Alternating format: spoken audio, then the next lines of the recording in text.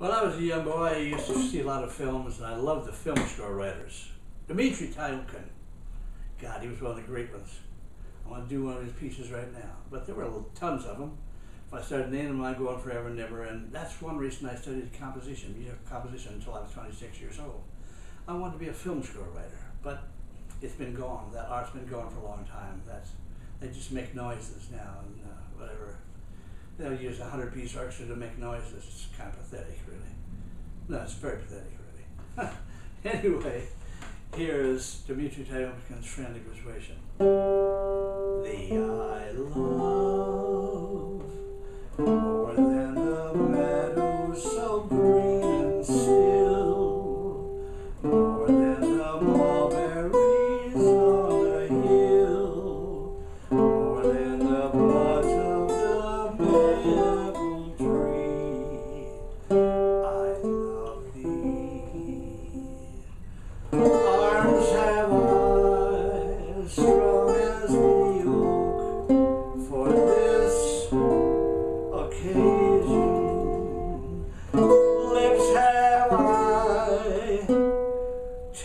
kiss me too in friendly persuasion.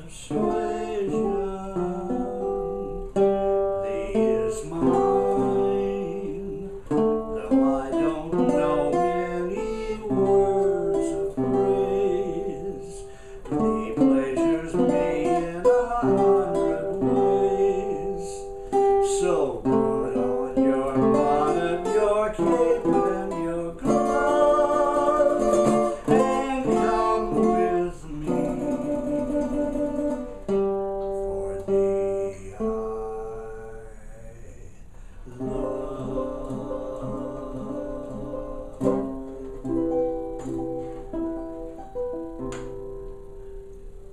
Persuasion by Dimitri Tiomkin.